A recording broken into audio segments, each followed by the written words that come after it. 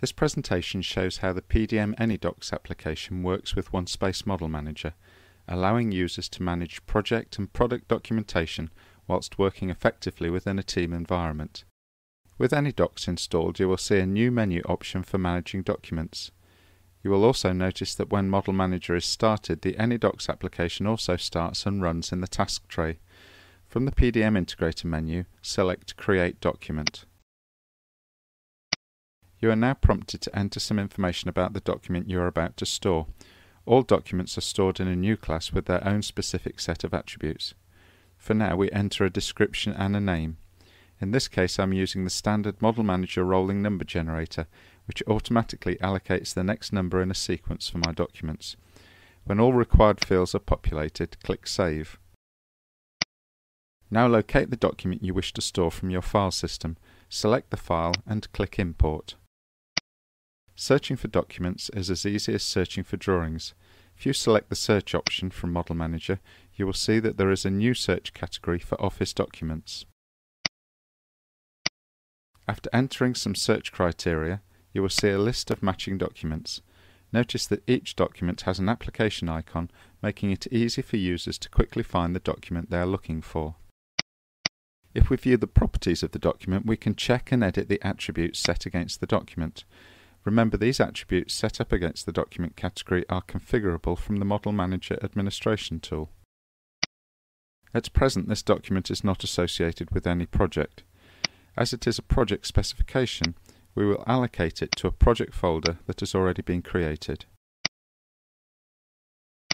Now if we search by project, we can quickly find the document in the relevant project folder. As this is a completed specification, we will go ahead and release the document. We need to make a change to the released document.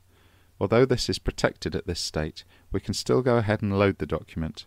Loading from Model Manager identifies the file association and loads the related application, in this case Word. PDM AnyDocs uses some unique technology to monitor any changes to the file.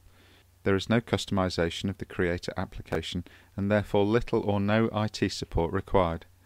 Our contact name has changed on this project, so we go ahead and make the change to the document. Once the modifications are complete, we can use the application's standard save function. The user will be prompted to store the changes back to Model Manager.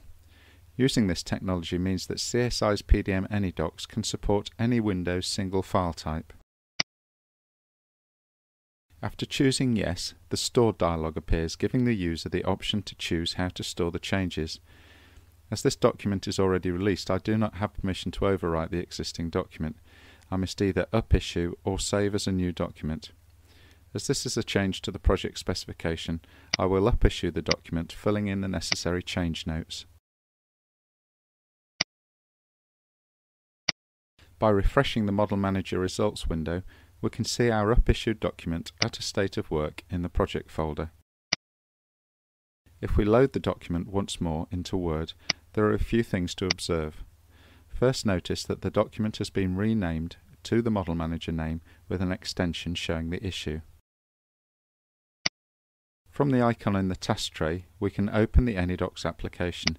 Here we can see a list of the files that are being monitored. In addition, by right-clicking on any item, we can view the Model Manager properties of the document. If we have the correct permissions, we can also edit these attributes. Emails can now be dragged and dropped directly from Outlook into Model Manager using a new import drop form. The form is enabled by right-clicking the AnyDocs icon in the task tray. Select Drag and Drop Form and make Always Visible. The position of the drop form can be set under the AnyDocs Options dialog. Now open the email client and drag and drop an email or a selection of emails onto the drop form. A Save dialog will open for each email. As with the documents, emails are stored in a new class with their own specific set of attributes. In this case, I accept the default names and store to Model Manager. As with documents, there is a new search category for emails. Let's run an open search to view the emails that we've just imported.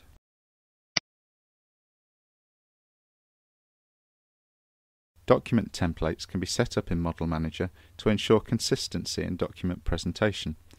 As these documents are released, the access controls prevent them from being overwritten.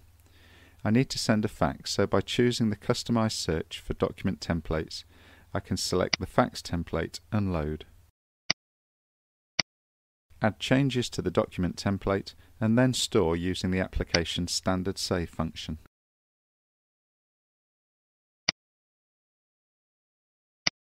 We do not have the option to overwrite the template, so we must choose another option. In this case we choose Save As, as we want to store the fax document under a new name. Again we use the rolling number generator.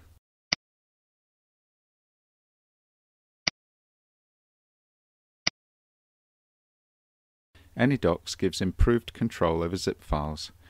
We will import a zip file into Model Manager using drag and drop. The zip file is dragged from the Windows directory directly onto the drop form. This is the quickest way to add documents to the database. Multi-selected documents can be dragged directly onto the drop form, allowing very quick population of the database with existing documentation held outside Model Manager. The Save dialog window opens allowing us to alter the document properties before committing it to the database. In this case we're going to alter its description. We can use the Model Manager's recent list to quickly find the zip file we have just stored to Model Manager. Here we can see the zip file just imported, YABU1247. We can now load the file and make some changes. With the file open we can add a document to the zip file again by dragging from the Windows Explorer directory. The zip application works differently to standard Office applications. Any changes to the file are immediately stored back to the file system. In this case, AnyDocs recognizes the save and prompts the user to store back to Model Manager. Select Overwrite to update the Model Manager record. If we want to make a number of changes to the zip file over a working session, it may be inconvenient to be prompted to store back to Model Manager each time we make a change. AnyDocs allows us to switch off this file monitoring so that we can opt to commit the file back to Model Manager just once when all the changes have been made. To do this we open AnyDocs, select the file from the list of documents, right click for a context menu or select from the toolbar the option to switch off file monitoring. We now add another document to the zip file to see the result of running with file monitoring switched off. This time we are not prompted to store the change back to Model Manager. To force a change to be stored to Model Manager, once we're finished working with the zip file, we again open the AnyDocs user interface and use the Force Save option on the selected file or files. We will now take a look at some of the options available with AnyDocs. From the menu bar select Tools and Options. Note that the Options menu is also available from the right-click Context menu from the icon in the task tray. Prompt on Save gives the file has changed dialog that we saw earlier in the viewlet. By default this is switched on. Warn on replacing existing file is shown when opening a document from Model Manager that is already being monitored. By default this option is also switched on. Notification on save causes a notification dialog to appear from the task tray when objects are stored to Model Manager. Notification on load causes the same behavior when objects are loaded from Model Manager. By default these options are off. Files that are monitored by AnyDocs are held in a temporary directory. The default option is to clear this directory when AnyDocs is closed. The final option here will warn the user before these objects are deleted. Finally, for support issues there is a trace function. If for any reason you have errors occurring in the use of AnyDocs, the trace function can be switched on and the resulting file emailed back to the CSI support team. We will now switch the trace on and import a document into Model Manager to see the resulting additions to the trace file. This time we see that we can also drag documents onto the AnyDocs user interface to import them into Model Manager.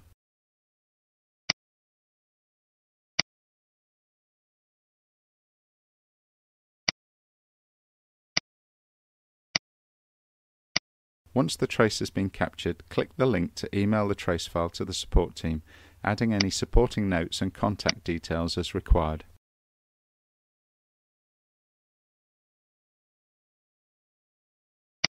Finally note that AnyDocs has language localization available. Simply select the required language to dynamically update the user interface. This concludes the viewlet on the AnyDocs application.